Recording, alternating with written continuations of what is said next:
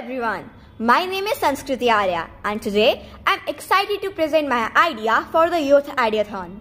Every day, millions of students sit down to study with good intentions, but within a few minutes, the phone takes over. A single notification leads to endless scrolling and students lose focus again and again. According to studies, over 60% of students struggle with digital distraction and on average day, they lose 2 to 3 hours of productive study time every day. This is a growing problem and it urgently needs a solution.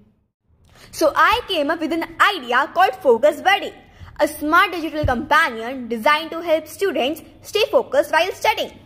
Focus Buddy is not an app yet. It's my proposed solution. Here's how it will work. When a student starts studying, Focus Buddy will automatically block all social media platforms so they cannot open Instagram, YouTube or other distracting platforms. It will send smart break reminders every 2 to 5 to 10 minutes based on the study routine. During breaks, it will guide the student through quick breathing exercises to refresh the mind and improve concentration. The goal is simple. Reduce distraction, increase focus and build better study habits. In the future, I plan to evolve Focus Buddy into a personalized productivity tools for students, tracking focus hours, suggesting better routines, and helping young learners to build discipline and consistency.